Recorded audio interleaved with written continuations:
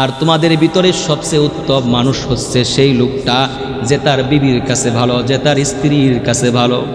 অনেক স্বামী আছে, তারা গর্ব করে বলে, হুজুর, আমার বউ আমার আমাকে দেখে বাঘের মতো ভয় করে। তার মানে আপনি তো মানুষ নন, আপনি হচ্ছেন একটা জানোয়ার।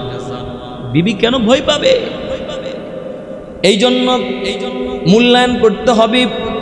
হাদিস শরীফের ভিতর আসছে, বুখারি শরীফের বর্ণনা।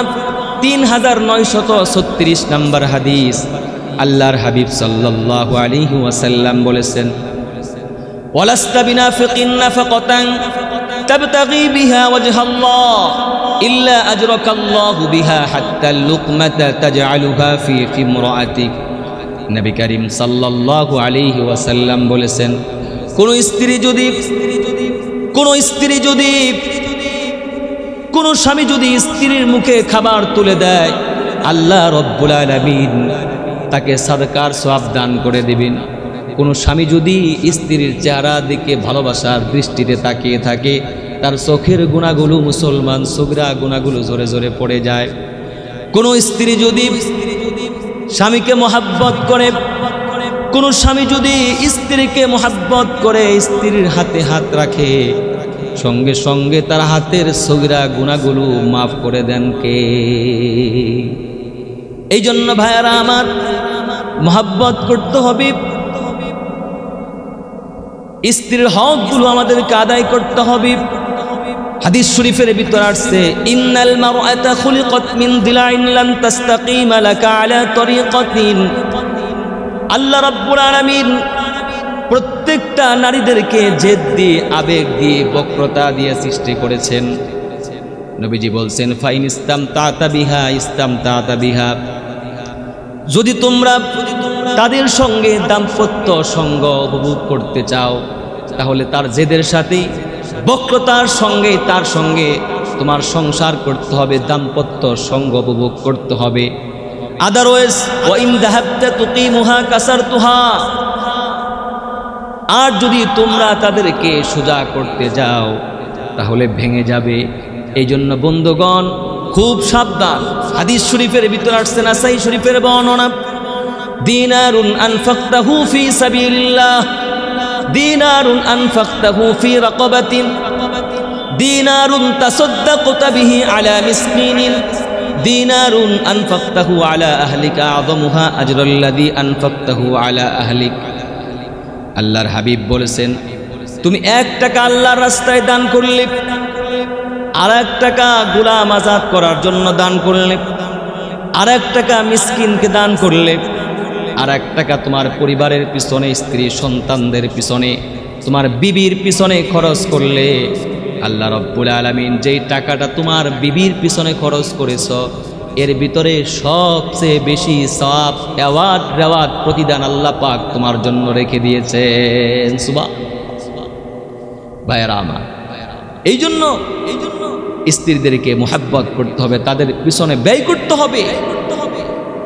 অনেক মানুষ আছে এমন, কিছুদিন পর পর নিজের জন্য জামা কিনে শপিং করে, কিন্তু বিবেকে কিছু দেয় না। ইভেন ঈদের ভিতরে অনেক মানুষ আছে, বউরে কিছু কিনে দেয় না। এমনটি করা যাবে না।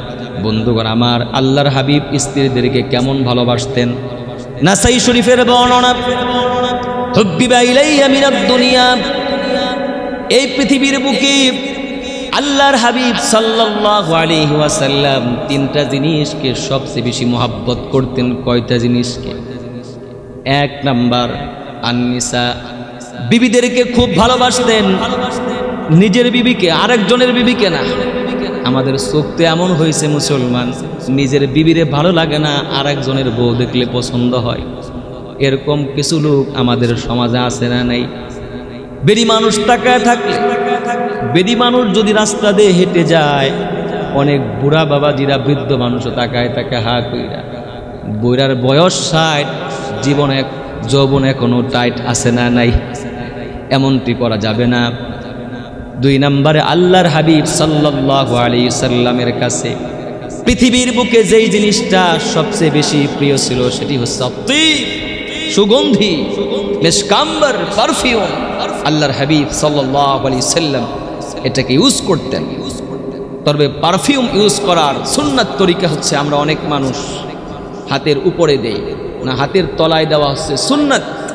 এটি আমরা লক্ষ্য রাখব। তিন নাম্বার আল্লাহর নবী সাল্লাল্লাহু আলাইহি ওয়াসাল্লাম যেই জিনিসটা পছন্দ করতেন অজইলা কুররত আইনি ফিস সলা নামাজকে নবীজি পছন্দ করতেন। নামাজের সময় হয়ে যাওয়ার সঙ্গে সঙ্গে আল্লাহর হাবিব সাল্লাল্লাহু আলাইহি ওয়াসাল্লাম বলতেন, ইয়া বিলালু আরিহনা বিসসালাত হে বেলাল, তুমি দাঁড়িয়ে যাওয়া জান দাও। নামাজের সময় হয়ে গেছে। এই জন্য ভাই যেখান থেকে কথাটা আসছিল, আল্লাহর হাবিবের কাছে পৃথিবীর বুকে এক নাম্বার পছন্দসই জিনিস হচ্ছে বিবিদেরকে তিনি মহাব্বত করতেন, পছন্দ করতেন, প্রিয় ভাইয়ারা আমার। মুসলিম শরীফের দুই হাজার সাঁত্রিশ নাম্বার হাদিস আল্লাহর হাবিব সাল্লাহ আলী ওয়াসাল্লাম বলেছেন, নাবিজির একজন ইরানি প্রতিবেশী ছিল, ইরানি প্রতিবেশী। এই প্রতিবেশী খুব ভালো রান্না করতে পারতেন একদিন ভালো তরকারি রান্না করে আল্লাহর হাবিব সাল্লাল্লাহু আলাইহি ওয়াসাল্লামের জন্য নবীজিকে ইনভাইট করতে আসলেন, দাওয়াত করতে আসলেন। আল্লাহর হাবিব সাল্লাল্লাহু আলাইহি ওয়াসাল্লাম দেখিয়ে দিলেন, এই যে আমার আয়েশাও আছে। অর্থাৎ নবীজি বুঝাতে চান, আমি একা একা দাওয়াত খেতে স্বাচ্ছন্দ্য বোধ করি না আমার বিবি আয়েশাকে ছাড়া। ইরানি প্রতিবেশী বলল, না, ইয়া রসুল আল্লাহ আপনি একাই। আল্লাহর হাবিব বললেন, না না, তাহলে আমিও যেতে পারব না।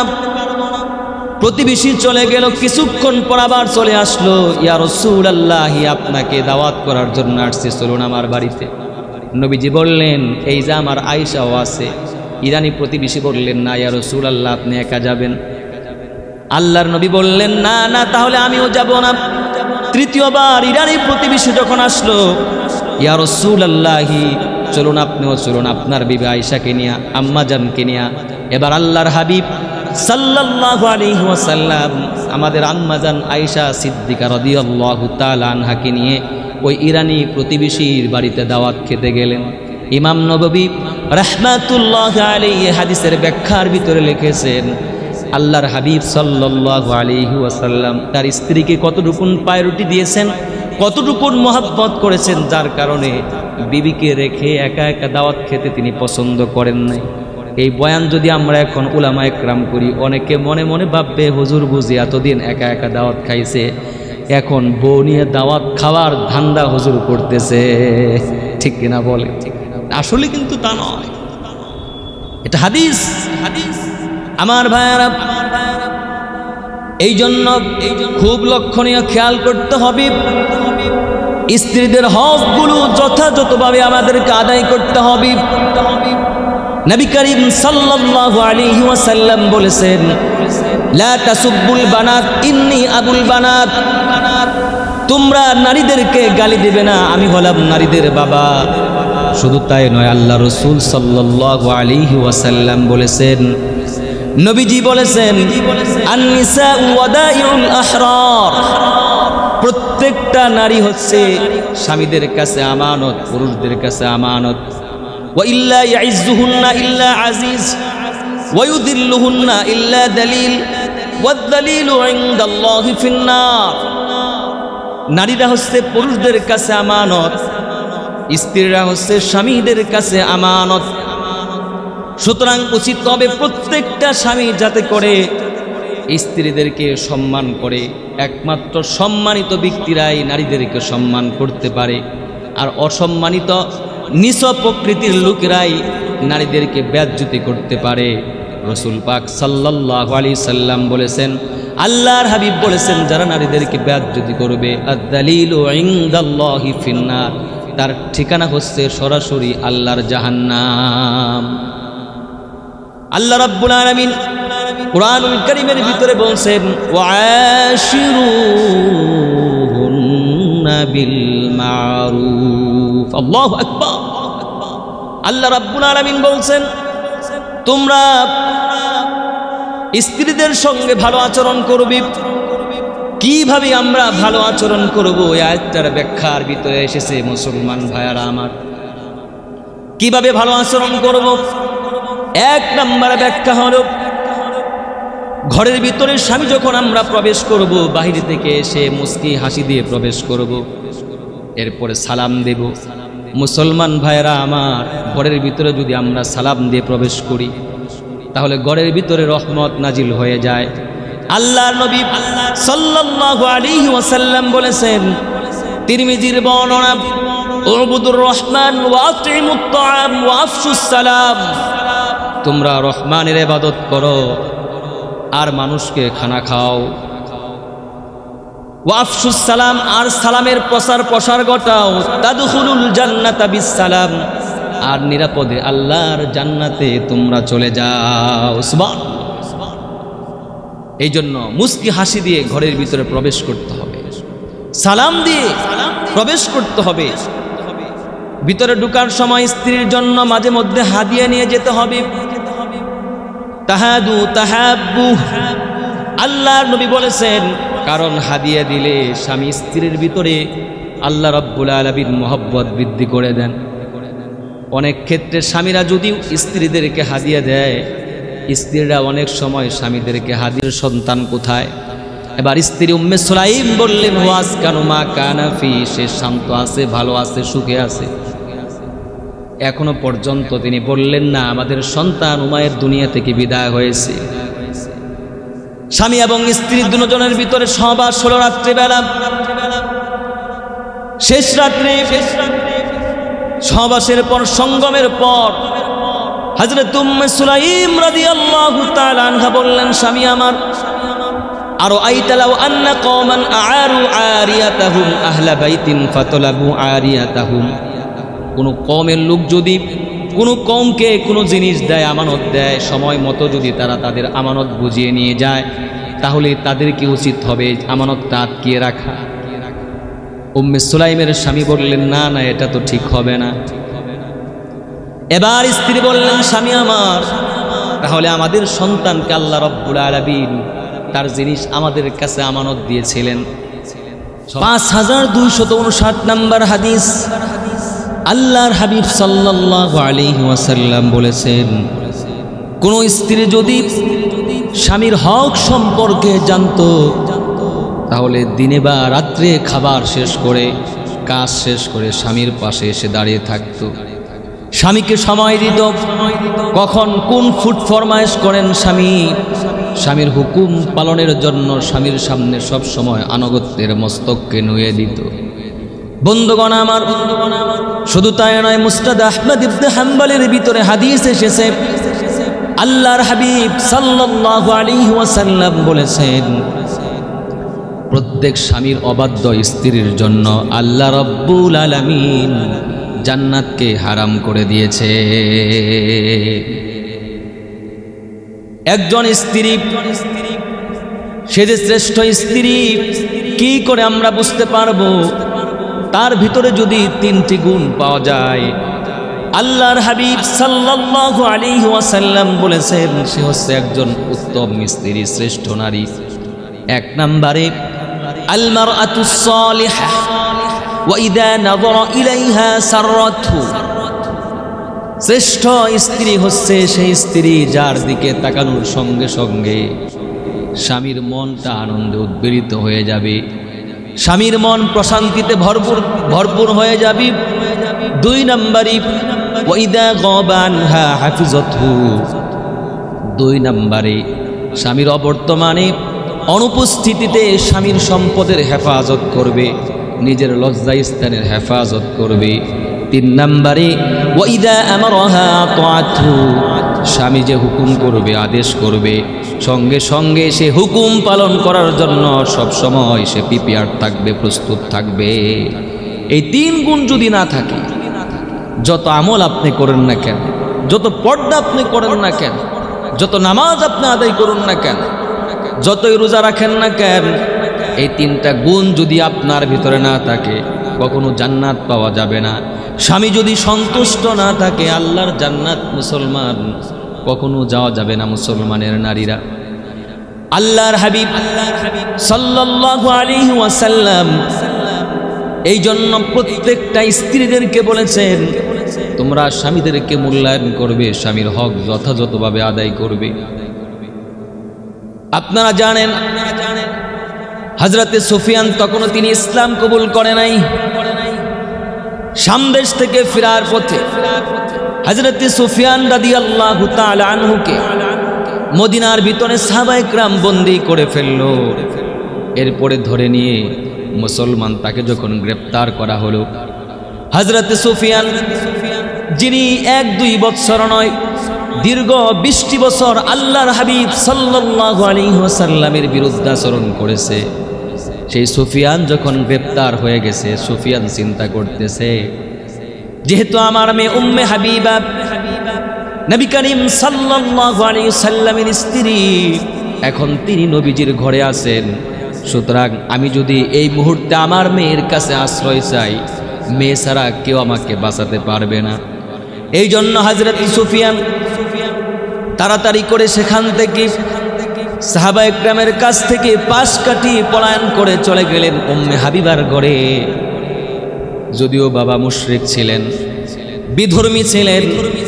মেয়ে যখন বাবার বাড়িতে গেছেন, বাবার বাড়িতে, বাবা যখন মেয়ের বাড়িতে গেছেন, বাবাকে যেই পরিমাণ খেদমত করার দরকার মুসলমান, সেই পরিমাণ খেদমত করছে।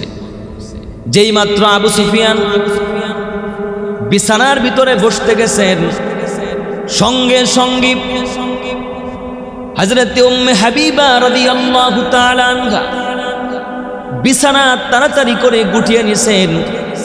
হজরতে সুফিয়ান রাদি আল্লাহ তালানহু বলেন, মা রে, কেন তুমি বিছানা গুটিয়ে ফেলো? তোমার বিছানা কি আমার উপযুক্ত নয় নাকি? নাকি আমি তোমার বিছানার উপযুক্ত নই? হজরত উম্মে হাবিবা সঙ্গে সঙ্গে বলে দিলেন, আব্বা যান যদিও আপনি আমার বাবা, আপনার প্রতি আমার সম্মান আছে রেসপেক্ট আছে অনার আসিফ তবে আমার আব্বা যান, এখন আপনি ইসলাম কবুল করেন নাই, দিন গ্রহণ করেন নাই।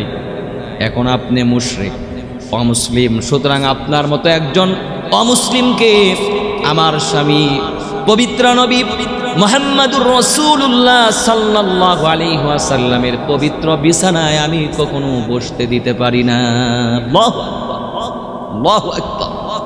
প্রিয় ভাইয়ারা আমার এই ছিল স্বামীর প্রতি ভক্তি, শ্রদ্ধা।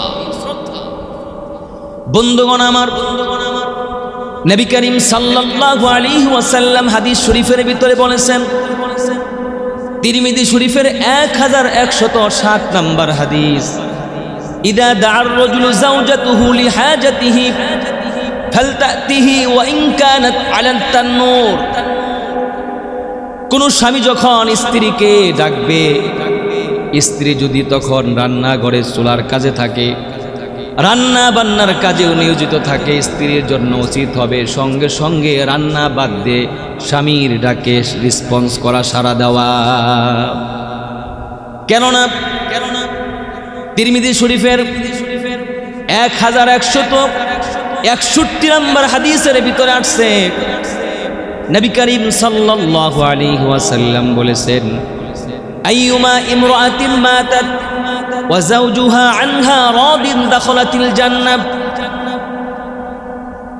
একজন স্ত্রী যখন এমন এমন অবস্থায় মৃত্যুবরণ করে যে তার স্বামী তার প্রতি সন্তুষ্ট, এ অবস্থায় যদি কোনো স্ত্রী দুনিয়া থেকে বিদায় হতে পারে, মৃত্যুর সঙ্গে সঙ্গে আল্লাহ রব্বুল আলমিন ওই স্ত্রীকে জান্নাত দান করে দিবে। এই জন্য খেদমত করতে হবে। স্বামীর ভক্তি শ্রদ্ধা ভিতরে থাকতে হবে অন্য এক জায়গায় আল্লাহর নবী সরওয়ারে কায়নাত নবী রাহমাতুল্লিল আলামিন নবী বলেছেন والذي نفسي بيده لا تؤدي المرأة حق ربها حتى تؤدي حتى زوجها নবীজি বলেন ওই সত্তার কসম যার হাতে আমার প্রাণ কতক্ষণ পর্যন্ত কোন স্ত্রী আল্লাহর হক যথাযথভাবে আদায় করতে পারবে না।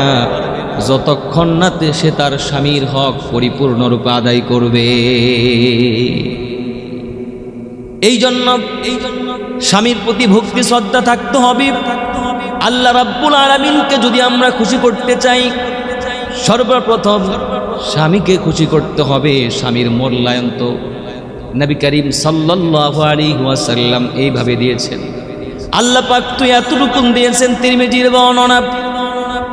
লাউ আহাদান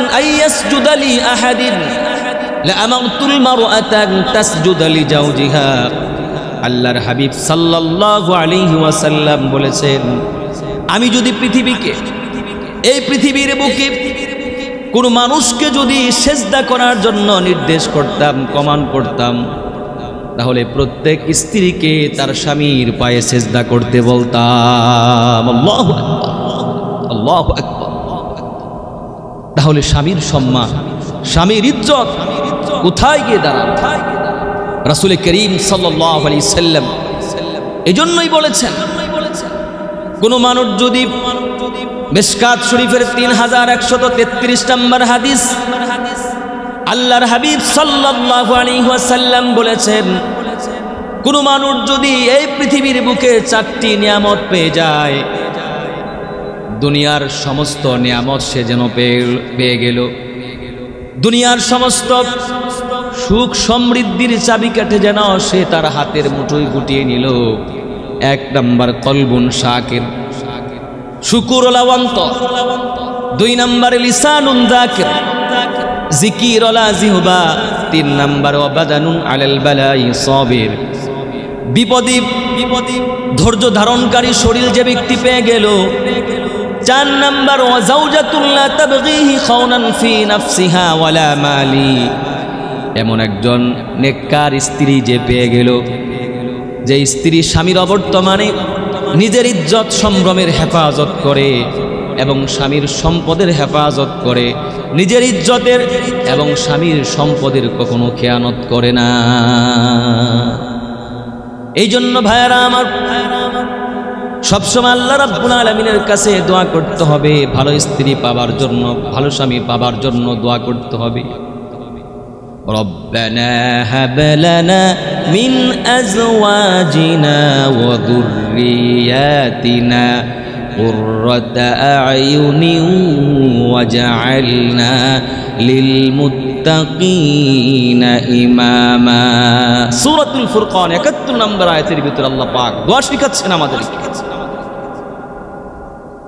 ভাইয়েরা আমার ভাইয়েরা আমার এই জন্য অপর্দানাদের মায়েরা বিশেষ করে স্বামীর হকগুলো আমাদেরকে পূরণ করতে হবে আদায় করতে হবে নবী করিম সাল্লাল্লাহু আলাইহি ওয়াসাল্লাম আর বলেছেন মুসনাদ আহমদ ইবনে হাম্বলের ভিতরে হাদিস খানা এসেছে আল্লাহর হাবিব বলছেন لو أمرها أن تنقل من جبل أسفر إلى جبل أسود ومن جبل أسود إلى جبل أبيض كان ينبغي لها أن تفعله স্বামী যদি কোনো স্ত্রীকে হলুদ রঙের পাহাড় হতে সাদা রঙের পাহাড়ি। হলুদ রঙের পাহাড় হতে কালো রঙের পাহাড়ি। কালো রঙের পাহাড় হতে সাদা রঙের পাহাড়ে। পাথর সরানোর মতো অনর্থক কাজ করার জন্য যদি নির্দেশ করে তবুও প্রত্যেকটা স্ত্রী স্বামীর সেই হুকুম পালন করার জন্য বাধ্য থাকিবে। ভাইয়েরা, আমার শুধু তাই নয়। তিরমিদি শরীফের বর্ণনা আল্লাহর হাবিব সাল্লাল্লাহু আলাইহি ওয়াসাল্লাম বলেছেন, ইদা দাআর রাজুলু ইমরাতাহু ইলা ফিরাশিহি ফাআবাত আন তাজিআ লা'নাতহাল মালাইকাতু হাত্তা তুসবিহা। কোন স্ত্রী যদি, কোন স্বামী যদি তার স্ত্রীকে বিছানায় ডাকে রাতের বেলা কিংবা কোনো এক সময়, কিন্তু স্বামী যদি ইগনোর করে স্ত্রী যদি অস্বীকার করে ইগনোর করে, তাহলে সকাল হবার আগ পর্যন্ত ওই স্ত্রীর উপর সবসময় আল্লাহর অভিশাপ অভিসম্পাদ বর্ষণ হতে থাকে। যতক্ষণ পর্যন্ত সে স্বামীর ডাকে সারা না দেবে। দেবরানী শরীফের হাদিস বাইহাতির বর্ণনার ভিতরে হাদিস এসেছে, কোনো স্ত্রী যদি স্বামীকে না জানিয়ে বাড়ির বাহিরে যায়, যতক্ষণ পর্যন্ত সে বাহিরে থাকবে, ততক্ষণ পর্যন্ত আল্লাহর লানত, গজব অভিশাপ অভিসম্পাদ তার উপর হতে থাকবে। নাউজুবিল্লাহ। আল্লাহ রাব্বুল আলামিন কত চমৎকার বর্ণনা দিয়েছেন। স্বামী এবং স্ত্রীকে কত সুন্দর করে আল্লাহ রাব্বুল আলামিন বলতেছেন, হুন্না লিবাসুল্লাকুম ওয়া আনতুম লিবাসুল্লাহুন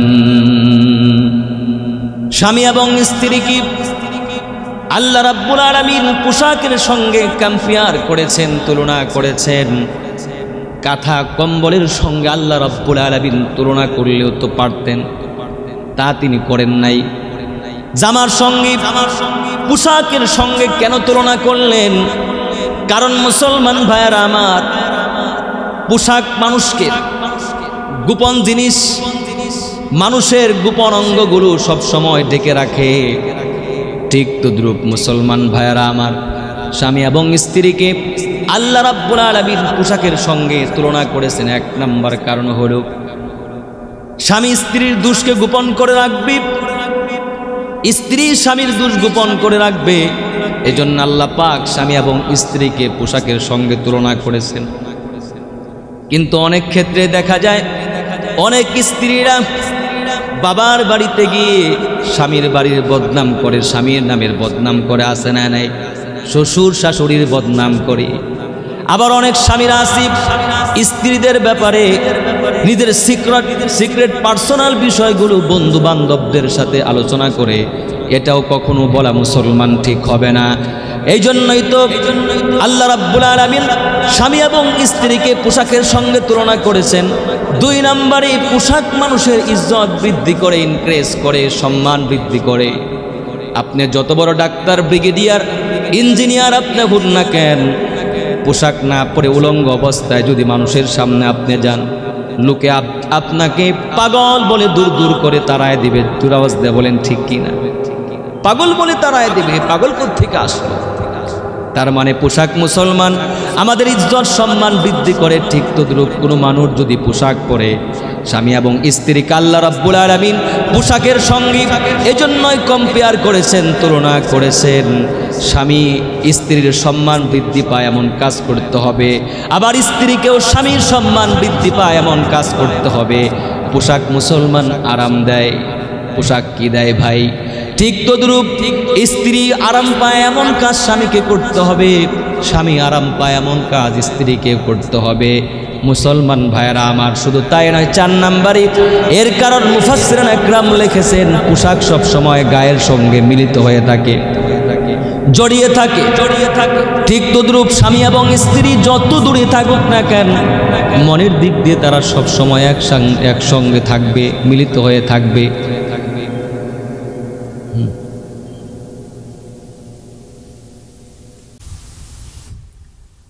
আল্লাহ রাব্বুল আলামিন সূরাতুন নিসার ভিতরে বলেছেন 34 নম্বর আয়াত আর রিজালু কাওয়ামুনা আলান নিসা। পুরুষরা হচ্ছে নারীদের অভিভাবক। বন্ধুগণ আমার এই জন্য আমি বলি, জীবনটা হচ্ছে একটা জাহাজের মতো, সংসারটা জাহাজের মতো। জাহাজ যেমনি ভাবি, স্রোত ঠেলে সামনের দিকে এগিয়ে যায়। একজন জাহাজের ভালো একজন কাপ্তানের প্রয়োজন আছে, নাবিকের প্রয়োজন আছে। তা না হয়, সমুদ্র যখন নাজুক পরিস্থিতি চলবে, সমুদ্রের ভিতরে যখন জোর হাওয়া আরম্ভ হয়ে যাবে। কাপ্তান যদি, নাবিক যদি দক্ষ না হয়, জাহাজ মুসলমান ডুবে যাওয়ার সম্ভাবনা আছে না নাই? ঠিক তদ্রূপ মুসলমান জীবন সংসারে একজন অভিভাবকের প্রয়োজন, কাপ্তানের প্রয়োজন, তার নাম হচ্ছে স্বামী। স্বামী যদি সঠিক না হয় তাহলে মুসলমান এই জীবন সংসার ভেঙে যেতে পারে অশান্তির ভিতরে ডুবে যেতে পারে সোরাত রুমের ভিতরে আল্লাহ রাব্বুল আলামিন ফর্মুলা শেখাচ্ছেন সংসারে কি করে শান্তি আসবে আল্লাহ সুবহানাহু ওয়া তাআলা বলেছেন وجعل بينكم مودة ورحمة একটা সংসারে যদি তোমরা শান্তি আনতে চাও, দুইটা জিনিসের দরকার, কয়টা জিনিসের? জোরাওয়াজে বলেন না ভাই, কয়টা জিনিসের? এক নাম্বার মাওয়াদ্দা। ভালোবাসা, মায়া, মমতা লাগবে। দুই নাম্বারে রহমা। ক্ষমা লাগবে। মানুষকে ক্ষমা করার মানসিকতা আপনার ভিতরে রাখতে হবে। জীবন চলার পথে স্ত্রী অনেক সময় ভুল করে ফেলবে। অনেক সময় স্বামী ভুল করবে, তবে এটাকে নিয়ে মনোমালিন্য করে বসে থাকা যাবে না। বরং দুজন যদি মাফ করে দেয়, তাহলে মুসলমান স্বয়ং আল্লাহ রব্বুল আলমিন খুশি হয়ে তাদের সংসারের ভিতরে আরও শান্তি বৃদ্ধি করে দেবেন কে?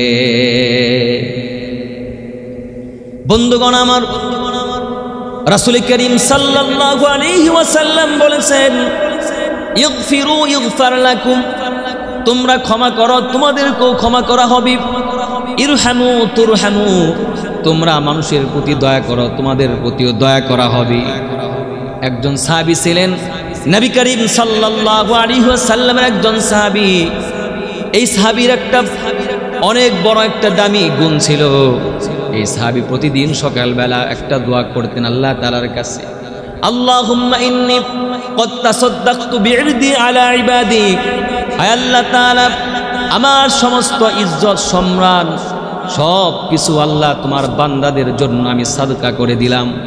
এই জন্য নবীজি বলেছেন, তোমরা কি আমার সাহাবি? দয়গম কিংবা দমদমের মতো হতে পারবে না। এই সাহাবি প্রতিদিন সকালবেলা আল্লাহ রব্বুল আলমিনের কাছে দোয়া করতো, রব্বুল আলমিন, আমার ইজ্জত, সম্মান, সব কিছু আমি সাদকা করে দিলাম।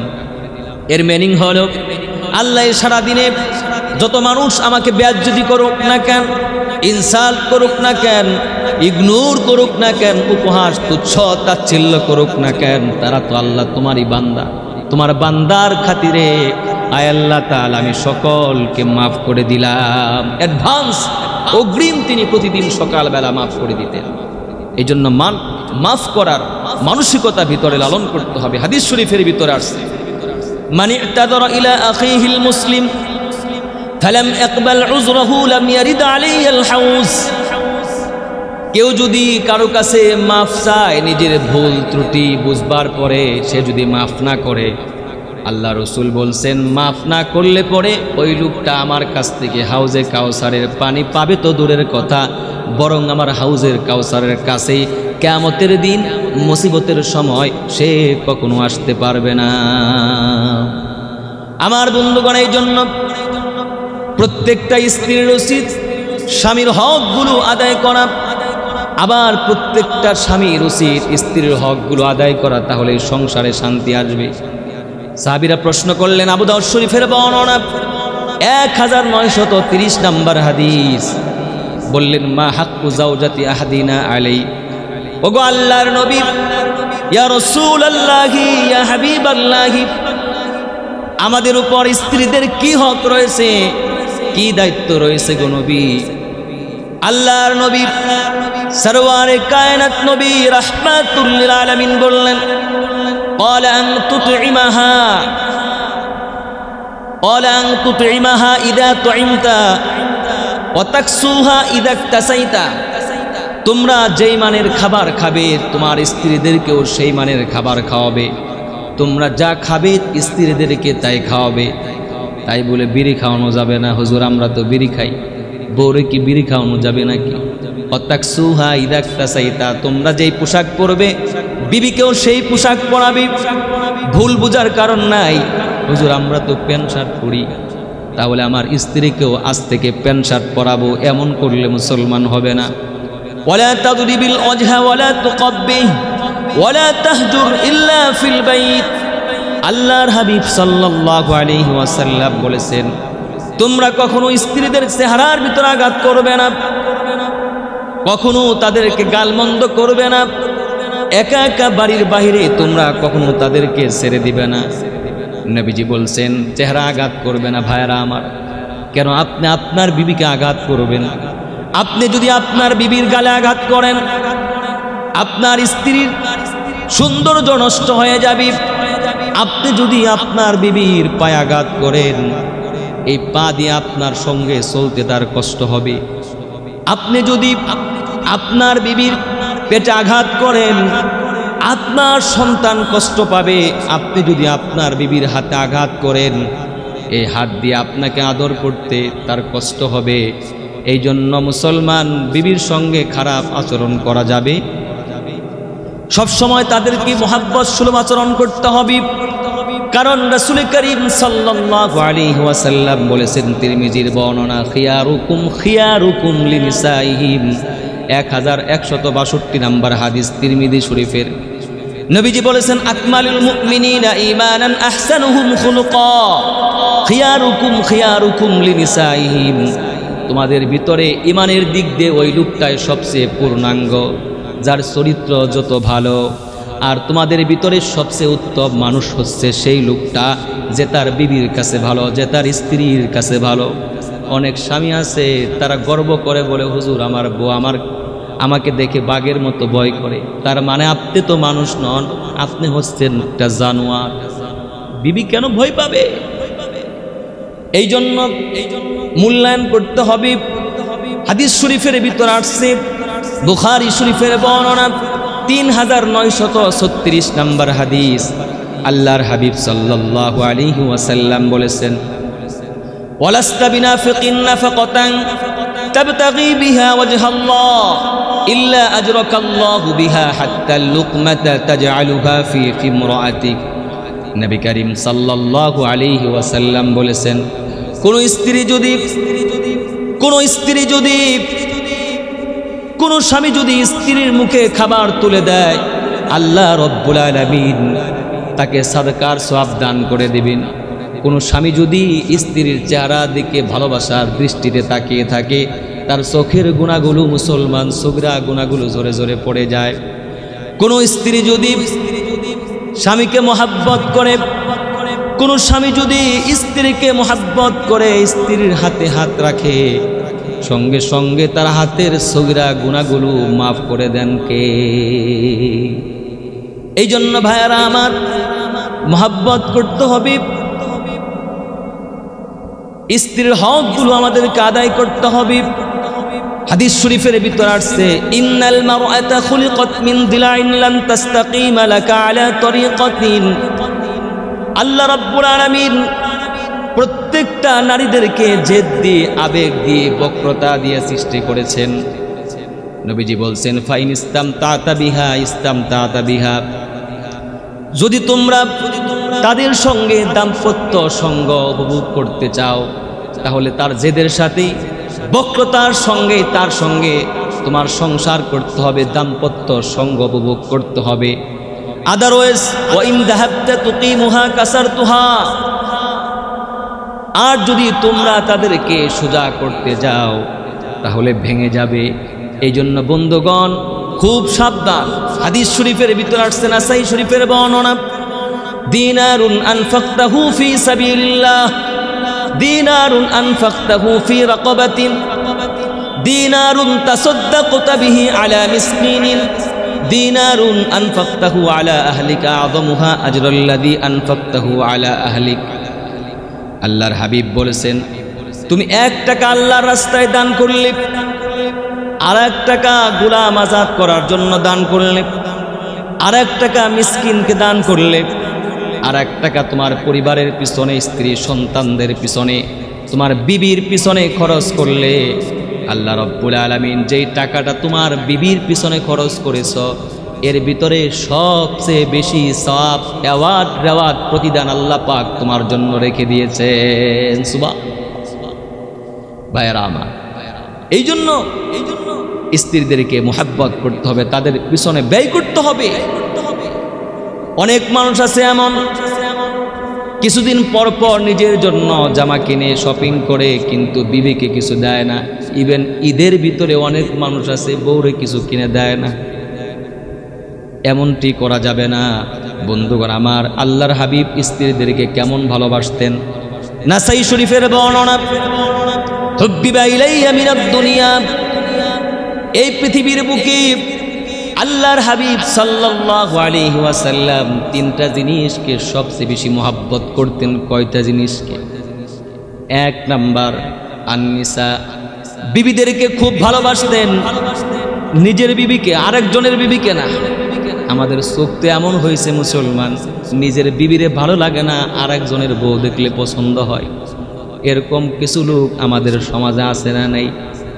বেরি মানুষ তাকায় থাকলে, বেদি মানুষ যদি রাস্তা দিয়ে হেঁটে যায়, অনেক বুড়া বাবাজিরা, বৃদ্ধ মানুষও তাকায় তাকে হা কইরা। বইরার বয়স ষাট, জীবন এক, যৌবন এখনও টাইট আছে না নাই? এমনটি করা যাবে না। দুই নম্বরে আল্লাহর হাবিব সাল্লাল্লাহু আলাইহি সাল্লামের কাছে। পৃথিবীর বুকে যেই জিনিসটা সবচেয়ে বেশি প্রিয় ছিল সেটি হচ্ছে সুগন্ধি পারফিউম। আল্লাহর হাবিব সাল্লাল্লাহু আলাইহি সাল্লাম এটাকে ইউজ করতেন। তবে পারফিউম ইউজ করার সুন্নাত তরিকা হচ্ছে আমরা অনেক মানুষ হাতের উপরে দেই। না, হাতের তলায় দেওয়া হচ্ছে সুন্নাত।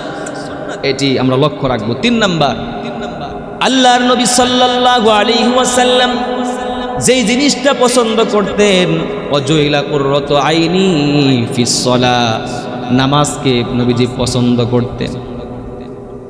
নামাজের সময় হয়ে যাওয়ার সঙ্গে সঙ্গে আল্লাহর হাবিব সাল্লাল্লাহু আলাইহি ওয়াসাল্লাম বলতেন, ইয়া বিলালু আরিহনা বিসসালাত হে বেলাল, তুমি দাঁড়িয়ে যাওয়া জান দাও।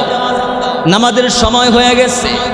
এই জন্য ভাই যেখান থেকে কথাটা আসছিল, আল্লাহর হাবিবের কাছে পৃথিবীর বুকে এক নাম্বার পছন্দসই জিনিস হচ্ছে বিবিদেরকে তিনি মহব্বত করতেন, পছন্দ করতেন প্রিয় ভাইয়ারা আমার। মুসলিম শরীফের দুই হাজার সাঁত্রিশ নাম্বার হাদিস আল্লাহর হাবিব সাল্লাহ আলিহি ওয়াসাল্লাম বলেছেন, নাবিজির একজন ইরানি প্রতিবেশী ছিল, ইরানি প্রতিবেশী। এই প্রতিবেশী খুব ভালো রান্না করতে পারতেন একদিন ভালো তরকারি রান্না করে আল্লাহর হাবিব সাল্লাল্লাহু আলাইহি ওয়াসাল্লামের জন্য নবীজিকে ইনভাইট করতে আসলেন, দাওয়াত করতে আসলেন। আল্লাহর হাবিব সাল্লাল্লাহু আলাইহি ওয়াসাল্লাম দেখিয়ে দিলেন, এই যে আমার আয়েশাও আছে। অর্থাৎ নবীজি বুঝাতে চান, আমি একা একা দাওয়াত খেতে স্বাচ্ছন্দ্য বোধ করি না আমার বিবি আয়েশাকে ছাড়া। ইরানি প্রতিবেশী বলল, না, ইয়া রসুল আল্লাহ আপনি একাই আল্লাহর হাবিব বললেন, না না, তাহলে আমিও যেতে পারব না। প্রতিবেশী চলে গেল, কিছুক্ষণ পর আবার চলে আসলো, ইয়া রসুল আল্লাহি আপনাকে দাওয়াত করার জন্য আসছে, চলুন আমার বাড়িতে। নবীজি বললেন, এই যে আমার আয়সাও আছে। ইরানি প্রতিবেশী বললেন, না, ইয়া রসুল আল্লাহ আপনি একা যাবেন। আল্লাহর নবী বললেন, না না, তাহলে আমিও যাব না। তৃতীয়বার ইরানি প্রতিবেশী যখন আসলো, ইয়া রসুল আল্লাহি চলুন আপনিও চলুন আপনার বিবে আয়সাকে নিয়া, আম্মা জানকে নিয়া। এবার আল্লাহর হাবিব সাল্লাল্লাহু আলাইহি ওয়াসাল্লাম আমাদের আম্মাজান আয়েশা সিদ্দিকা রাদিয়াল্লাহু তাআলা আনহাকে নিয়ে ওই ইরানি প্রতিবেশীর বাড়িতে দাওয়াত খেতে গেলেন। ইমাম নববী রাহমাতুল্লাহ আলাইহি হাদিসের ব্যাখ্যার ভিতরে লিখেছেন, আল্লাহর হাবিব সাল্লাল্লাহু আলাইহি ওয়াসাল্লাম তার স্ত্রীকে কতটুকুন পায়রুটি দিয়েছেন, কতটুকুন মহাব্বত করেছেন, যার কারণে বিবিকে রেখে একা একা দাওয়াত খেতে তিনি পছন্দ করেন নাই। এই বয়ান যদি আমরা এখন উলামা একরাম করি, অনেকে মনে মনে ভাববে, হুজুর বুঝি এতদিন একা একা দাওয়াত খাইছে, এখন বউ নিয়ে দাওয়াত খাওয়ার ধান্দা হুজুর করতেছে। ঠিক কিনা বলে? আসলে কিন্তু তা নয়। এটা হাদিস। হাদিস আমার ভাইয়ারা এই জন্য খুব লক্ষণীয় খেয়াল করতে হবে। স্ত্রীদের হকগুলো যথাযথভাবে আমাদেরকে আদায় করতে হবে। নবী করিম সাল্লাল্লাহু আলাইহি ওয়াসাল্লাম বলেছেন, লা তাসুব্বুল বানাত, ইন্নি আবুল বানাত। তোমরা নারীদেরকে গালি দেবে না, আমি হলাম নারীদের বাবা। শুধু তাই নয়, আল্লাহ রসুল সাল্লাল্লাহু আলাইহি ওয়াসাল্লাম বলেছেন, নবীজি বলেছেন আন্নিসা ওয়াদাইউল আহরার। প্রত্যেকটা নারী হচ্ছে স্বামীদের কাছে আমানত, পুরুষদের কাছে আমানত। ইয়াইজুহুন্না আজিজ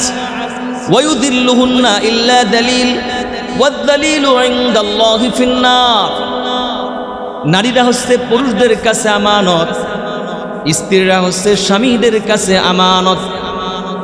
সুতরাং উচিত হবে প্রত্যেকটা স্বামী যাতে করে স্ত্রীদেরকে সম্মান করে, একমাত্র সম্মানিত ব্যক্তিরাই নারীদেরকে সম্মান করতে পারে। আর অসম্মানিত নিচ প্রকৃতির লোকেরাই নারীদেরকে ব্যাজ্যুতি করতে পারে। রসুল পাক সাল্লাহ আলী সাল্লাম বলেছেন, আল্লাহর হাবিব বলেছেন, যারা নারীদেরকে ব্যাজ্যুতি করবে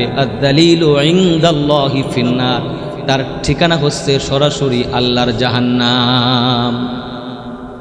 আল্লাহ রাব্বুল আলামিন কোরআনুল কারীমের ভিতরে বলছেন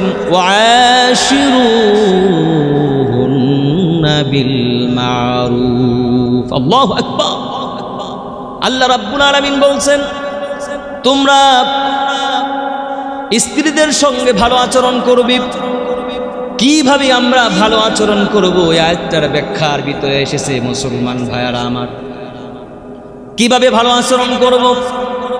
এক নম্বর ব্যাখ্যা হলো ঘরের ভিতরে স্বামী যখন আমরা প্রবেশ করব, বাহির থেকে এসে মুস্কি হাসি দিয়ে প্রবেশ করব। এরপরে সালাম দেব। মুসলমান ভাইয়েরা আমার, ঘরের ভিতরে যদি আমরা সালাম দিয়ে প্রবেশ করি, তাহলে ঘরের ভিতরে রহমত নাজিল হয়ে যায়। আল্লাহ নবী সাল্লাল্লাহু আলাইহি ওয়াসাল্লাম বলেছেন, তিরমিজির বর্ণনা, উবুদুর রহমান ওয়া আতইমুত তাআম সালাম। তোমরা রহমানের ইবাদত করো। আর মানুষকে খানা খাও। ওয়াফসুস সালাম, আর সালামের প্রসার প্রসার ঘটাও। তাদুখুলুল জান্নাতা সালাম আর নিরাপদে আল্লাহর জান্নাতে তোমরা চলে যাও। এই জন্য মুস্কি হাসি দিয়ে ঘরের ভিতরে প্রবেশ করতে হবে। সালাম দিয়ে প্রবেশ করতে হবে। ভিতরে ঢুকার সময় স্ত্রীর জন্য মাঝে মধ্যে হাদিয়া নিয়ে যেতে হবে। তাহাদু তাহাবু আল্লাহর নবী বলেছেন, কারণ হাদিয়া দিলে স্বামী স্ত্রীর ভিতরে আল্লাহ রব্বুল আলবীর মোহব্বত বৃদ্ধি করে দেন। অনেক ক্ষেত্রে স্বামীরা যদিও স্ত্রীদেরকে হাদিয়া দেয়, স্ত্রীরা অনেক সময় স্বামীদেরকে হাদির সন্তান কোথায়? এবার স্ত্রী উম্মে সোলাইম বললেন, ওয়াজ কানুমা কানাফি সে শান্ত আছে, ভালো আছে, সুখে আছে। এখনও পর্যন্ত তিনি বললেন না, আমাদের সন্তান উমায়ের দুনিয়া থেকে বিদায় হয়েছে। স্বামী এবং স্ত্রী দুজনের ভিতরে সহবাস হলো রাত্রিবেলা শেষ রাত্রে, সহবাসের পর, সঙ্গমের পর হজরত সুলাইম রাদিয়াল্লাহু তাআলা আনহা বললেন, স্বামী আমার, আরও আইতালাও আন্না কওমান আআরু আরিয়াতাহুম আহলা বাইতিন ফাতলাবু আরিয়াতাহুম। কোনো কমের লোক যদি, কোনো কমকে কোনো জিনিস দেয়, আমানত দেয়, সময় মতো যদি তারা তাদের আমানত বুঝিয়ে নিয়ে যায়, তাহলে তাদের কি উচিত হবে আমানতটা আটকিয়ে রাখা? উম্মে সুলাইমের স্বামী বললেন, না না, এটা তো ঠিক হবে না। এবার স্ত্রী বললেন, স্বামী আমার, তাহলে আমাদের সন্তানকে আল্লাহ রব্বুল আলবিন তার জিনিস আমাদের কাছে আমানত দিয়েছিলেন। সময় মতো গত রাত্রে আল্লাহ পাক তাকে দুনিয়া থেকে নিয়ে গেছেন স্বামী আমার। এই কথা শুনবার পরে স্বামী অত্যন্ত রাগান্বিত হলেন। তার প্রতি তুমি কেন আমাকে আগে বললে না? বিষয়টা সকাল হলো। স্বামী এবং স্ত্রী দুজন মিলে মুসলমান রক রওনা করলেন। দিনের নবী রাহমাতুল্লিল আলামিন সাল্লাল্লাহু আলাইহি ওয়াসাল্লামের দরবারে রওনা করলেন। নবীজির কাছে সমস্ত ঘটনা তুলে ধরলেন। আল্লাহর হাবিব ওয়াসাল্লামের কাছে যখন ঘটনা খুলে বললেন, নবীজি সাল্লাল্লাহু আলাইহি বললেন, আল্লাহ রব্বুল আলামিন তোমাদের এই রাত্রের ভিতরে হয়তো বরকত দান করবেন। নবীজির এই দোয়া তাদের জন্য সামিল হাল হয়ে গেল। দেখা গেল মুসলমান, কিছুদিন পরে আল্লাহ রব্বুল আলমিন তাদের গর্বে তাদের ঔরসে আবদুল্লাহ নামক একজন সন্তান দান করলেন। যার ঔরসে আল্লাহ রাব্বুল আলমিন আরও নয় জন সন্তান দিলেন, প্রত্যেকেই ছিল কোরআনের হাফে এই ঘটনা থেকে আমি এটাই বুঝাতে চাইলাম, প্রিয় বন্ধুগণ আমার, প্রিয় ভাইয়ারা আমার, কোনো মানুষ যদি চায় যে তার স্বামীর প্রতি ভক্তি, শ্রদ্ধা দেখাবে, এভাবেও দেখানো যেত। আজকে সমাজের ভিতরে আল্লাহ রসুলের সুন্নাত অ্যাপ্লাই নাই। এই জন্য সমাজে প্রতিটি সংসার অশান্তি আসে না নাই। উপর দিক দিয়ে যদিও আমরা দেখতেছি খুব শান্তি দেখা যাচ্ছে। কিন্তু আসলে প্রকৃতার্থে তা নয়। ও যে এক গল্প মনে পড়ল। দুই ফ্ল্যাট পাশাপাশি এক ফ্ল্যাটের স্বামী স্ত্রী খুব ঝগড়া হয়। পাশের ফ্ল্যাটের স্বামী এবং স্ত্রীকে তারা লক্ষ্য করে দেখি। সব সময় তারা হাসাহাসি করে। একদিন স্ত্রী তাদের কাছে গেল, যাওয়ার পরে বলল প্রতিদিন আমাদের, আমার এবং আমার স্বামীর ভিতরে ঝগড়া হয়। কিন্তু জানলা দিয়ে দেখি আপনাদের ভিতরে কি হাসি খুশি, কি আনন্দের কারণটা কি? আপনাদের সংসারে এত শান্তির কারণটা কি? একটু ব্যাখ্যা করেন। তখন তারা বলতে লাগল, স্বামী তখন বলতে লাগল, শোনো শোনো, তুমি বলতেছো আমার সংসারে শান্তি। আসলে ব্যাপারটা তুমি জানো না, আমার স্ত্রী এতটাই রাগ হয়ে যায়। যখন তার বিরুদ্ধে কোনো কিছু যায়, তার মাথা তখন ঠিক থাকে না। যখন সে রেগে যায়, রেগে গেলে পরে আমি যে তার স্বামী, তার এটা লক্ষ্য থাকে না। তার হাতের কাছে যা থাকে, তাই আমার দিকে নিক্ষেপ করে। যে জিনিসটা ছুঁড়ে মারে, ওই জিনিস যদি আমার চেহারার ভিতরে লাগে, তাহলে আমার স্ত্রী হাসে। আর ওইটা যদি আমার দেহের ভিতরে না লাগে, তাহলে আমি হাসি। এইটা হচ্ছে সুখ। এই জন্য আমরা হাসি। আসলে প্রকৃতার্থে মনের হাসা হাসি আমাদের ভিতরে নাই। আমার ভাইয়ারা এই জন্য সংসারে যদি আমরা সুখ আনতে চাই, শান্তি যদি বৃদ্ধি করতে চাই, এগুলো আমাদেরকে সমাজের ভিতরে অ্যাপ্লাই করতে হবে। তাহলে আল্লাহ রব্বুল আলমিন আমাদের সংসারে শান্তি দান করে দেবেন। বন্ধুগণ আমার, হক নিয়ে কথা বলতেছিলাম। প্রত্যেকের প্রাপ্য হক, পাওনা আমাদেরকে বুঝিয়ে দিতে হবে। ভাইরা আমার আমার বন্ধুগণ, খুব ভালো করে আমাদেরকে মনে রাখতে হবে। নবী করিম সাল্লাল্লাহু আলাইহি ওয়াসাল্লাম বলেছেন এই হাদিস খান আসছে বুখারী শরীফের তিন হাজার ছয়শত তিন নম্বর হাদিস। আল্লাহর হাবিব সাল্লাল্লাহু আলাইহি ওয়াসাল্লাম বলেছেন ইন্নাহা সাতাকুনু বাদি আথারাতুন উমুরুন তুনকিরুনাহা। ক্বালু ইয়া রাসূলুল্লাহ, ফামা তা'মুরুনা।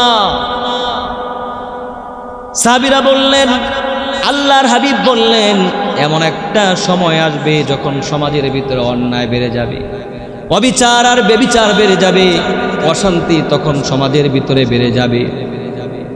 সাহাবিরা বললেন, ইয়া রাসূলুল্লাহি, ফামা তা'মুরুনা।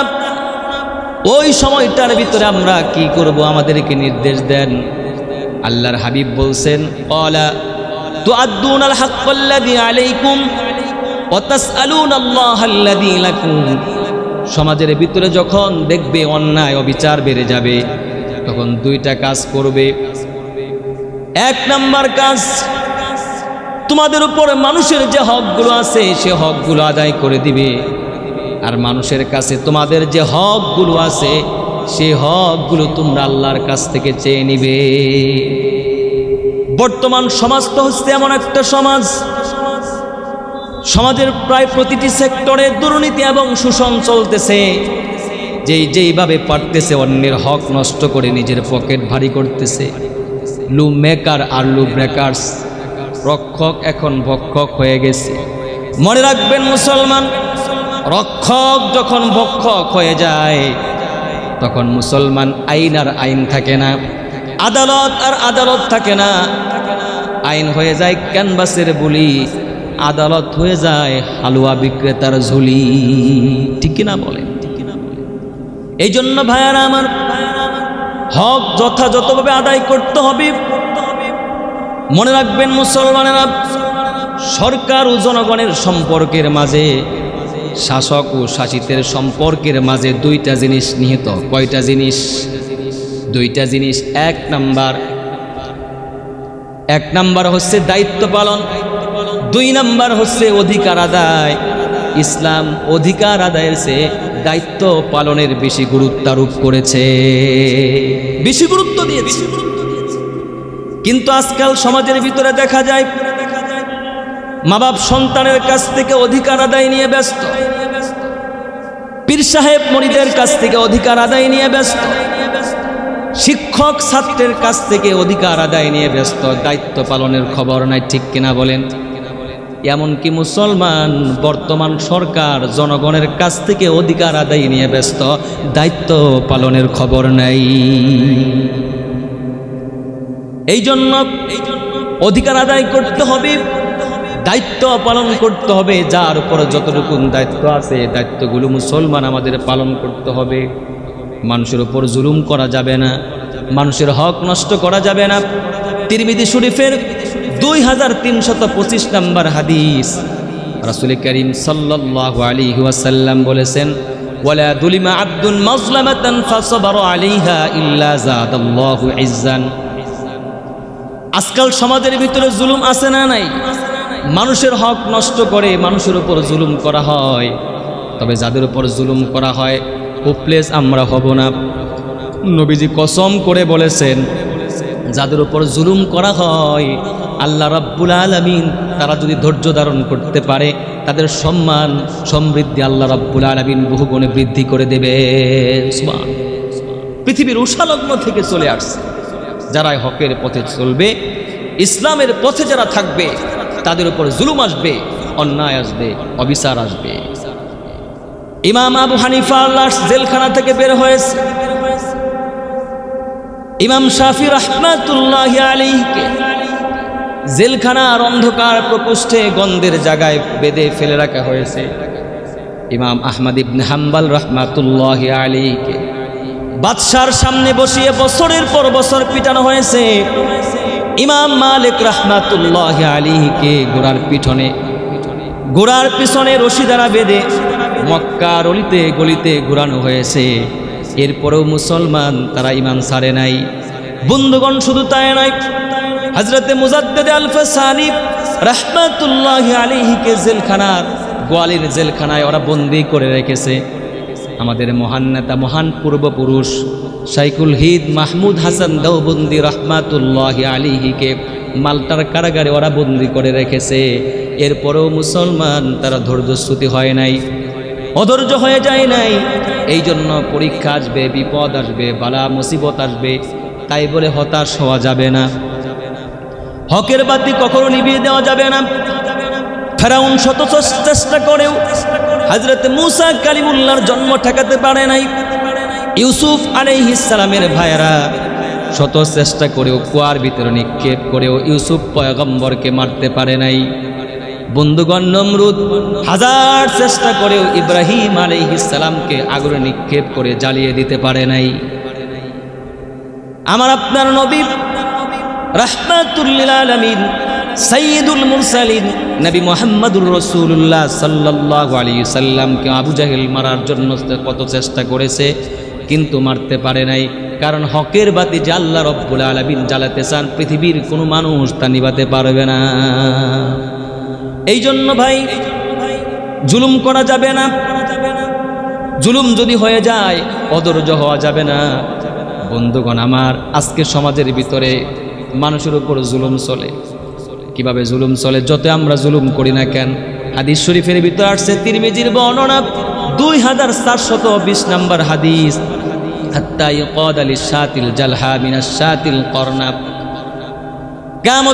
আলী সিংবিহীন ছাগলের হকটাও মুসলমান সিংওয়ালা ছাগলের কাছ থেকে আল্লাহ রব্বুল আলমিন আদায় করে নেবেন। এই জন্য মানুষের হক নষ্ট করা যাবে না। রাসুল করিম সাল্লাহ আলী সাল্লাম আরও বলেছেন, মুসলিম শরীফের বর্ণনা পাঁচ হাজার আঠারো নম্বর হাদিস। আল্লাহর হাবিব সাল্লাহ আলী সাল্লাম বলেছেন, লানাল্লাহু কেউ যদি জুলুম করে, অন্যায় করে, অবিচার করে, কারও এক শতাংশ না, মুসলমান এক বিগত না, এক হাত না, নবীজি বলেছেন, এক ইঞ্চি জায়গা যদি অন্যায় করে, দখল করে খায়, তাহলে স্বয়ং আল্লাহ রব্বুল আলমিন তার প্রতি দিন রাত চব্বিশ ঘণ্টা অভিশাপ করতে থাকে হাদিস এসেছে। বুখারির বর্ণনা। আল্লাহ নবী বলছেন, চার হাজার ছয় শত ছিয়াশি নম্বর হাদিস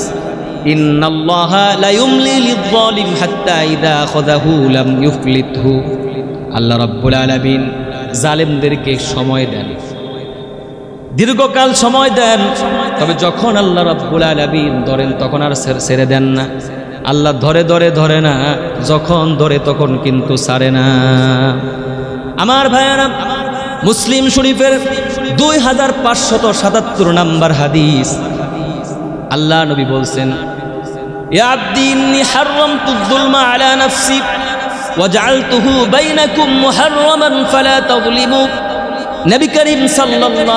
সাল্লাম বলেছেন, এটা হাদিসে স্বয়ং আল্লাহ পাক বলতেছেন আমার বান্দারা, স্বয়ং আমি আল্লাহ আমি আমার নিজের উপর জুলুমকে হারাম করে নিয়েছি। এবং তোমার তোমরা তোমার তোমরা পরস্পর মানুষের উপর যে জুলুম করবে এটাও তোমাদের জন্য আমি হারাম করে দিয়েছি হাদিস শরীফের ভিতরে আসছে হাদিস খানায় এসেছে বুখারি শরীফের দুই হাজার চারশত আটচল্লিশ নম্বর হাদিস ইত্তাকি দাওয়াতাল মাজলুম فإنها ليس بينها وبين الله حجاب الله أكبر বলেন আল্লাহর হাবিব সাল্লাল্লাহু আলাইহি ওয়াসাল্লাম বলেছেন তোমরা মাজলুমের দোয়া থেকে ভয় করো, মাজলুমের দোয়াকে ভয় করো। কারণ মাজলুম যখন দোয়া করে, তার দোয়ার মাঝে আর আল্লাহর মাঝে কোনো হিজাব থাকে না, পর্দা থাকে না। আমার ভাইয়ারা, হাদিস শরীফের ভিতর আসছে, এটাও বুখারির বর্ণনা দুই হাজার চারশত বিয়াল্লিশ নাম্বার হাদিস। আল মুসলিম আকুল মুসলিম ইউসলিমুহু। মুসলমান হচ্ছে মুসলমানের ভাই। রাসূলে পাক বলছেন, তোমরা মানুষের ওপর জুলুম করবে না এবং তোমাদের কোনো ভাইয়ের ওপর যদি জুলুম হয়, নির্যাতন হয়, তাকে তোমরা কখনো একা একা ফেলে রেখে চলে আসবে না, একা ছেড়ে দিবে না। তোমাদের সামনে যদি দেখো তোমার এলাকার কোনো এতিম সন্তানের ওপর এলাকার মানুষ জুলুম করে, তোমরা দাঁড়িয়ে যাবে, এই ছেলের বাবা নাই তো, কি হয়েছে আমরা তার বাবা? আমরা তার গার্ডিয়ান অভিভাবক, তার উপর কোনো জুলুম চলবে না, নির্যাতন চলবে না। অনেক সময় দেখা যায়, অনেক ভাইদের টাকা পয়সা বেশি থাকে। অসহায় ভাইদের উপর তারা জুলুম করে টাকা পয়সা মেরে খায়, আসে না, নাই।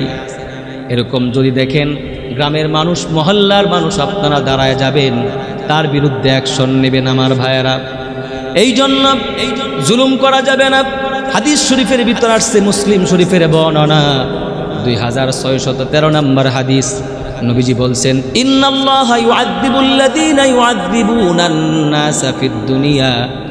আল্লাহ রব্বুল আলমিন কেমতের ময়দানে শুধুমাত্র ওই সমস্ত মানুষদেরকে কষ্ট দেবেন, শাস্তি দেবেন আজাব দেবেন যারা দুনিয়াতে মানুষকে কষ্ট দেয়। যারা মানুষকে কষ্ট দেবে, শাস্তি শুধুমাত্র কেবল তারই হবে। হাদিস দ্বারা আমরা বুঝতে পারলাম। ভাইরা আমার হাদিস শরীফ শুনেন আল্লাহর হাবিব সাল্লাল্লাহু আলাইহি ওয়াসাল্লাম বলেছেন, গালেবান মুসলিম শরীফের চার হাজার আটানব্বই নম্বর হাদিস। একবার হজরত আবদুল্লাহ ইবনে মাসউদ রাদিয়াল্লাহু তাআলা আনহু, তিনি তার গুলামকে মারতেছিলেন। আল্লাহর হাবিব সাল্লাল্লাহু আলাইহি ওয়াসাল্লাম পিছন দিক দিয়ে যাচ্ছিলেন, বললেন, এ আলম আবা মাসউদ। আবদুল্লাহ ইবনে মাসউদ আওয়াজ শুনলেন, পিছনের দিকে তাকালেন না, বুঝতে পারলেন না কে আমাকে ডাকছে। নবীজি একবার নয়, দুইবার নয়, তিন, তিনবার ডাকলেন। এলাম আবা মাসউদ আন্নাল্লাহ আকদারু আলাইকা মিনকা আলা হাদাল গুলাম। আবু মাসউদ, তুমি জেনে রাখো, এই যে তোমার অধীনস্থ গোলামের উপর তুমি যে জুলুম করতেছো, নির্যাতন করতেছো, শুনে রাখো তুমি। আল্লাহ রব্বুল আলমিনও কিন্তু তোমার উপর এর চেয়ে শতভাগ ক্ষমতা দেখানোর শক্তি তিনি রাখে পাওয়ার তিনি রাখে। এই জন্য ভাইরা আমার অধীনস্থদের উপর জুলুম করা যাবে না। ইমাম শামসুদ্দিন শামসুদ্দিন জাহাবি রহমাতুল্লাহ আলী তিনার প্রসিদ্ধ গ্রন্থ আল কাবাইরের ভিতরে এই ঘটনাটি উল্লেখ করেছেন যে একজন লোক শহরের ভিতরে গিয়ে জুড়ে জুড়ে বলতে লাগল অশহরের লোকেরা, তোমরা মানুষের উপর জুলুম করবে না, অন্যায় করবে না, অবিচার তোমরা করবে না কারণ যারা মানুষের উপর জুলুম করে, আল্লাহ রব্বুল আমিন তাদেরকে দুনিয়াতে শাস্তি দিয়ে থাকেন। লোকেরা তাকে জিজ্ঞেস করল, আপনার সঙ্গে ভাই, কি এমন ঘটনা ঘটেছে যার কারণে আপনি এমন করে বলতেছেন? তখন ওই লোকটা বর্ণনা করে শোনালো, শোনো আমার ভাইয়ের আসল ঘটনা হলো, আমি এক সময় জালেম ছিলাম, মানুষের উপর জুলুম করতাম, জোর করে মানুষের জিনিস আমি নিয়ে গেতাম, জুলুম করে একদিন নদীর ঘাটে যাচ্ছে। মাছ কেনার জন্য। হঠাৎ করে দেখলাম, একজন লোক আসতেছে। একজন জেলে বড় একটা মাছ নিয়ে আসতেছে। তার মাছটা আমার ভীষণ পছন্দ হলো। জিজ্ঞেস করলাম, ভাই, মাছটা আমাকে দাও। জেলে তখন বলল, ভাই, মাছটা দিতে পারি, তবে টাকা দিতে হবে। আমি তখন তাকে বললাম, কোনো টাকা পয়সা দিতে পারব না। জেলে তখন বলল, ভাই আমি বড় অসহায় মানুষ, দুস্থ, দরিদ্র মানুষ। টাকা যদি না দেন, আমার স্ত্রী সন্তান তো না খেয়ে ঘরের ভিতরে বসে আস আমি ডাল বাজার থেকে চাউল কিনে নিয়ে যাব, ডাউল কিনে নিয়ে যাব, এরপরে আমার সন্তানরা খেতে পারবে। বন্ধুগণ আমার, কিন্তু না না, এই লোকটার কোনো কথা আমার অন্তরের ভিতরে বিন্দুমাত্র দয়ার উদ্রেক হলো না। জোর করে তার কাছ থেকে মাছটা আমি নিয়ে নিলাম। চলে গেলাম আমি বাড়িতে। বাড়িতে যাওয়ার পথে হঠাৎ করে আমার হাতের আঙ্গুলের অগ্রবাক মাথের মাছের মাথার ভিতরে, মুখের ভিতরে ঢুকে যায়। অমনি কিছুক্ষণ পরে আমার হাতের ভিতরে ব্যথা আরম্ভ হয়ে যায়। ধীরে ধীরে সেখানে পচতে আরম্ভ করলাম। নিকটবর্তী ডাক্তারের কাছে গেলাম। আমার হাতের অবস্থা পর্যবেক্ষণ করে সে আমাকে বলতে লাগল, ভাই, আপনি যদি বাঁচতে চান, আপনার হাতের কবজি পর্যন্ত যদি কাটা থেকে আপনি যদি রক্ষা পেতে চান, তাহলে হাতের আঙ্গুলটা আপনাকে কেটে ফেলতে হবে। ডাক্তারের কথা শুনে আঙ্গুল পর্যন্ত আমি কর্তন করে ফেললাম। বাড়িতে চলে আসলাম। আসার পরে কিছুদিন যেতে না যেতেই আবার পচতে আরম্ভ করে দিল। পচা যখন আরম্ভ করল, আমি আবার ডাক্তারের কাছে গেলাম। ডাক্তার আমাকে বলল কবজি পর্যন্ত হাত কেটে ফেলতে হবে, না হয় পুরো হাত কেটে ফেলতে হবে পরে। ডাক্তারের কথা শুনে তাড়াতাড়ি করে কবজি পর্যন্ত হাত আমি কেটে ফেললাম। বাড়িতে চলে আসলাম, কিছুদিন যেতে না যেতে আবার হাত পচতে আরম্ভ করল। এক পর্যায়ে পুরো হাত আমি কেটে ফেললাম। ডাক্তার সাহেব এবার আমাকে বলল আচ্ছা বলুন তো ভাই, সত্য করে বলেন, আপনার হাতের সঙ্গে কেমন ঘটনা ঘটছে? কেন আপনার হাতে ব্যথা হয়েছে? কেন এমন হলো? কোন কারণে একটু ব্যাখ্যা করে বলেন না আমাকে। তখন আমি বললাম সমস্ত ঘটনা খুলে বললাম ডাক্তার সাহেব আমার এই ঘটনা শোনার সঙ্গে সঙ্গে আমাকে বলে উঠল ভাই আপনাকে মাজলুমের দোয়ায় ধরছে বদ দোয়ায় ধরছে। পৃথিবীর কোনো মেডিসিন আর ওষুধ প্রয়োগ করে কোনো লাভ হবে না। কোনো ট্রিটমেন্ট আপনার জন্য কাজ হবে না। আপনার চিকিৎসা একটাই আপনি তাড়াতাড়ি চলে যান। সেই যার কাছ থেকে জুলুম করে, নির্যাতন করে যে জেলের কাছ থেকে আপনি মাছ নিয়ে আসছেন, সে তার কাছে চলে যান, জেলের কাছে যান, তবে আপনি রক্ষা পাবেন। না হয় মৃত্যুর আগে আপনি রক্ষা পাবেন না। পুরো দেহ আপনার পচে যাবি। ডাক্তারের কথা শুনে দৌড়ে আমি রওনা করলাম। জেলের কাছে গিয়ে সমস্ত ঘটনা করে বললাম, তার পায়ে পড়লাম, মাপ চাইলাম। জেলে আমাকে বলে ফেলল, ঠিক আছে ভাই আপনার, আপনাকে আমি অন্তর থেকে মাফ করে দিলাম মাফ করে দিলাম, ক্ষমা করে দিলাম। এরপর থেকে আমার আর হাত কোনো দিন পচে নাই। এই পচাটার উপর দিকে আসে নাই। আমার ভাইয়ারা, আমার বন্ধুগণ, এই জন্য এখনও যদি আমরা মানুষের উপর জুলুম করি, নির্যাতন করি, তাহলে আমাদের উপরও মুসলমান এমন আসতে পারে কি পারে না? আল্লাহ রাব্বুল আলামিন শেষ নবী রাহমাতুল্লিল আলামিন সাল্লাল্লাহু আলাইহি সাল্লামের দুয়ার বরকতে এ উম্মতকে হেফাজত করেন। অনেক সময় আমরা পশু পাখির উপর জুলুম করি। উট, ঘোড়া এবং গাভী, এগুলো কাজ করায়, এগুলোকে আমরা খাবার দেই না যথাযথভাবে। প্রিয় বন্ধুগণ আমার, নবী করিম সাল্লাল্লাহু আলাইহি সাল্লামের কাছে এক উট এসে কমপ্লেন করল, ইয়া রাসূলুল্লাহ, আমার মরিব আমাকে দিয়ে কাজ করায়।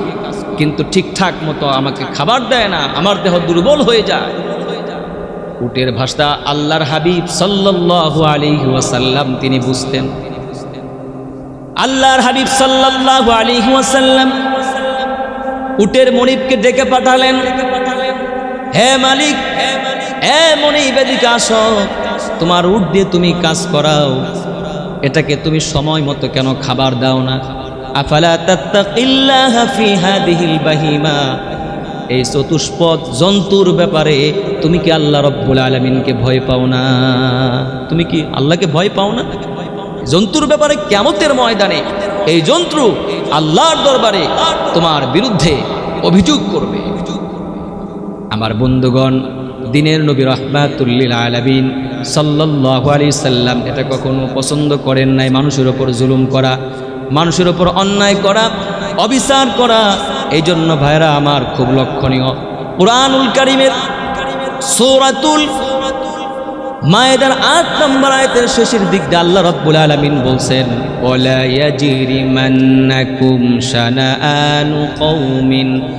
আলা